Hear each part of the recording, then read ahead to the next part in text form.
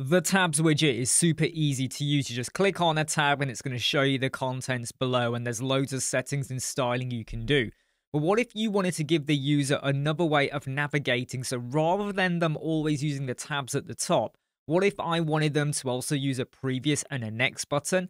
So as I click here, it kind of moves around. And when I get to the end, that's it, it stops. And if I hit previous, it takes me back the other way. I can still click on the tab and I can still go backwards and forwards. This is really easy to do with a little bit of code.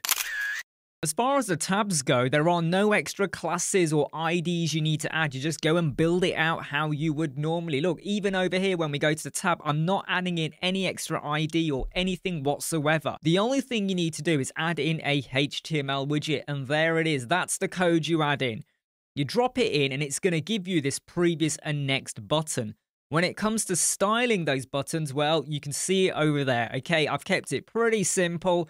If you want to go and modify the border, the width, the colors, all of that. So if you want to have something extra, like a previous and next navigation on top of the tabs, because maybe some people don't realize I can click the tab. They might get to it and not realize, whereas the previous and next is a little bit more immediate. Hey, I'm Imran from Web Squadron. I hope you like, subscribe, share, and follow. I'll see you soon.